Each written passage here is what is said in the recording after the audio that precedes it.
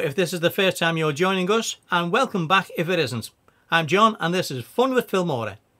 Lights, camera, action! Let's have some fun.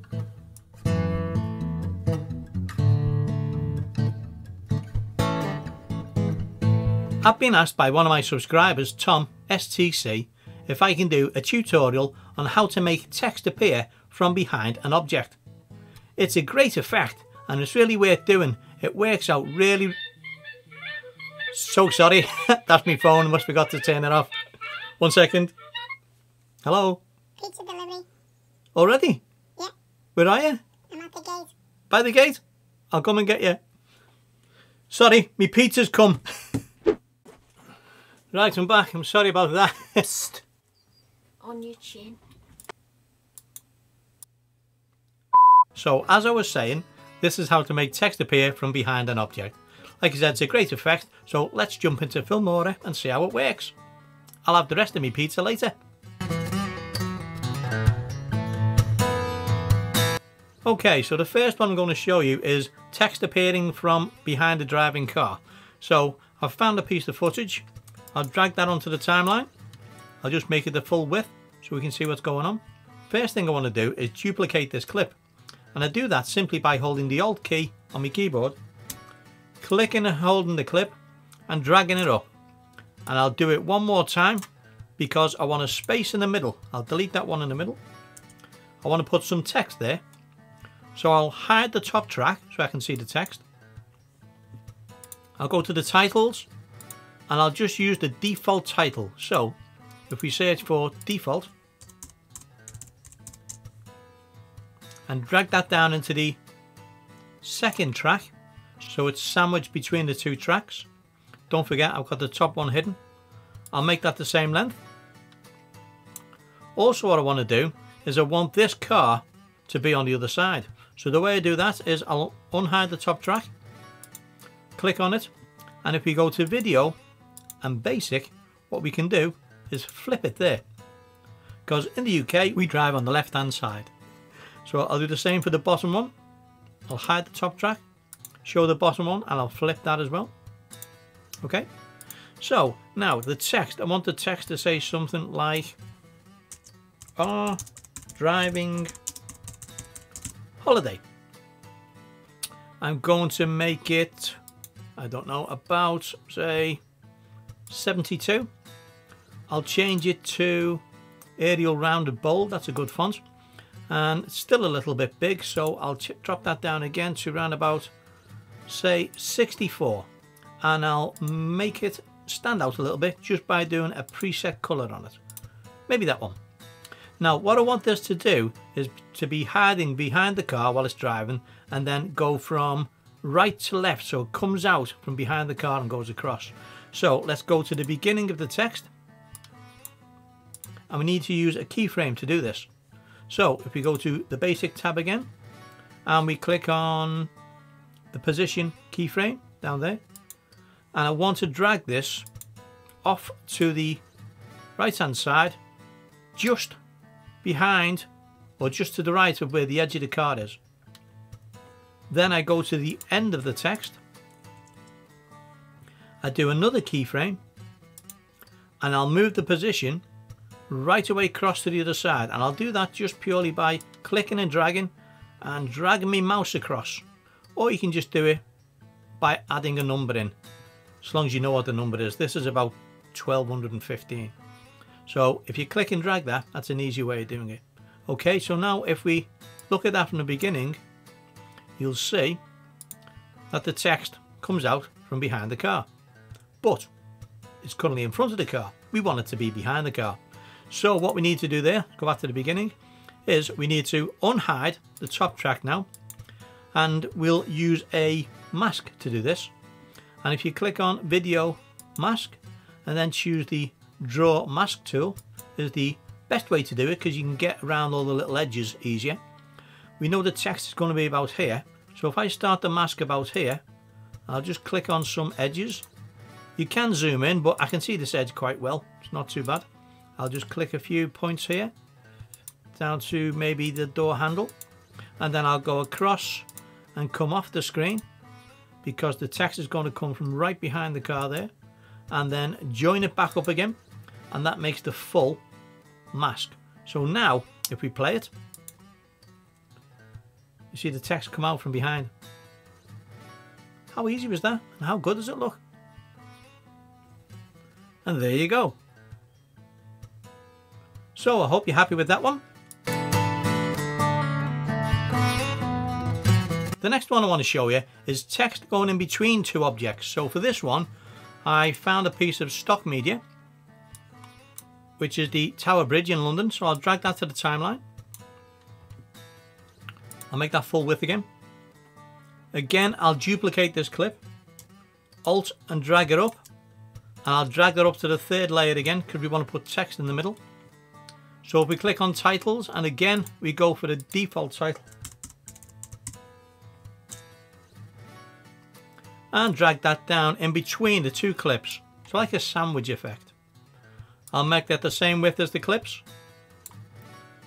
And I'll just hide the top clip for now so that we can see the text. And I'll just call that Tower Bridge, London, UK. And again, it's a bit big, so I'll make that a bit smaller. I'll go to maybe 62 I'll change it again to the Arial rounded. Arial rounded bold, sorry. I will also put a preset on it. Right, what I want to do now is I want to make this text appear from behind that tower.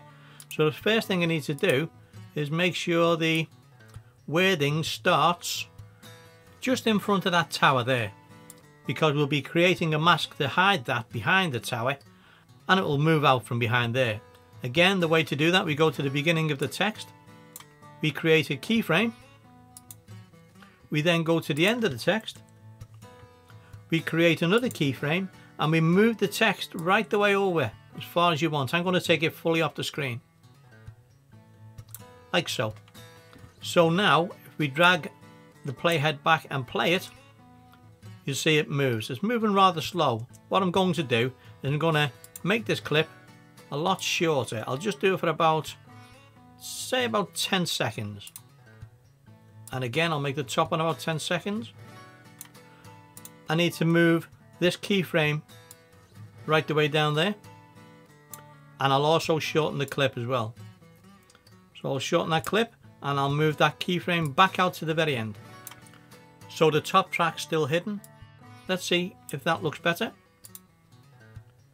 Yeah, that works better. Looks faster. That's better. Okay, I'll unhide the top track, but I'm now going to hide the bottom track because I want to create a mask on the top track. And the way we do that is we click on the track, make sure we're at the beginning, go to the video tab, mask, and we'll use a linear single line mask. What we need to do is drag that over to approximately where the tower is and rotate it. We can drag the handle there. If it's not fine enough, which it isn't there, we can also use the rotation on the actual properties panel. And again, if you just drag your mouse cursor, you get it roughly to where it is. That doesn't look too bad. So let's just unhide the bottom track, play that, see what it looks like. And there we go. How easy was that? So I hope you enjoyed that one as well. And the last one I want to show you is rising text out of water. So let's jump back into Filmora. I found a piece of stock media that would be great for this. Drag that down. Okay, I'll put it on the bottom track. I've already got two extra tracks there. If you haven't, let me just show you. Let me just hide them. If you haven't and it just looks like that, I'll show you what you can do. We need to duplicate this track by holding the Alt key on the keyboard, click and holding and dragging up. That makes an extra track. And doing the same again, dragging up further. That creates three tracks and I want the middle track to be empty because I want to put text in there. So click on that and press the delete key. Now we don't need all of this, so um, I didn't have to do that just yet, but it doesn't matter. Um, what I can do now is just shrink this down to the piece that I wanted to use. maybe where the water just starts to fade away there would be good. Mm, yeah, about yeah, about there. Okay, so I'll drag the top track down and I'll drag the bottom track down as well to match. I'll just expand that so it fits the screen so we can see what's going on. Now again, I want to put text in between. So I'll go to the titles, make sure you're on recommended, and again search for default. Drag the default text down in between the two layers and make it the same length. Now I'm going to hide the top track so we can see the text and I'm going to call that the power of the sea. All in capitals. There we go the power of the sea. Bit big so again we'll shrink that down to maybe say 68 looks quite good. We'll give it a preset effect again. Make it look a bit like water. That's quite nice. That looks the same color as the water in the sky so that will do. Now what we need to do is drag this down to just under where the waves are because I want that to rise up behind the waves. So what we need to do now is add a keyframe. Make sure you're at the start of the text. We'll add a keyframe on the position. We'll go to the end of the text. We'll add another keyframe. That, that's gone black at the back because you can see here the text is just a little bit longer than the other two clips. So simply just drag that back there. There we go. So add the, a second keyframe and we want to make that rise out to the sea to about there. So now when we go to the start of the clip and play it, we can see it rising out of the sea. But we want it to ride out of the sea behind these waves. So what we need to do is unhide the top track, click on it, go to AI Tools and choose Smart Cutout. Click on Smart Cutout. Again, make sure you're at the beginning of the clip. And I'm just going to paint across this wave here. I'm going to make the brush a bit bigger just to make it easier.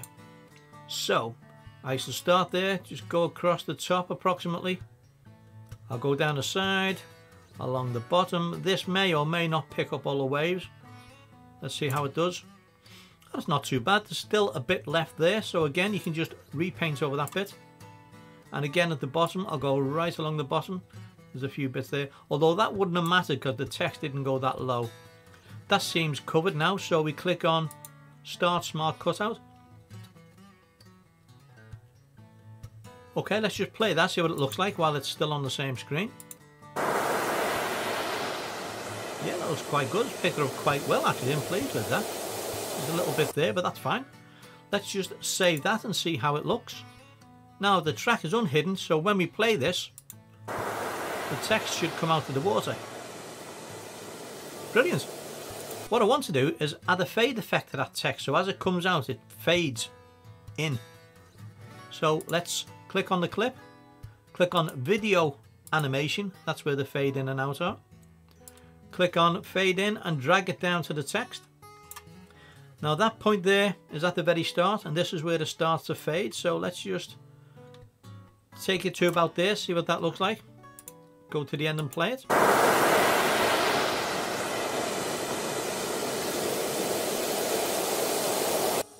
Yeah, that worked really well, so I'm happy with that. I hope you enjoyed those three little tutorials on how to make text appear from behind objects. I'd appreciate it if you checked out my other videos and don't forget about the free £50 monthly giveaway.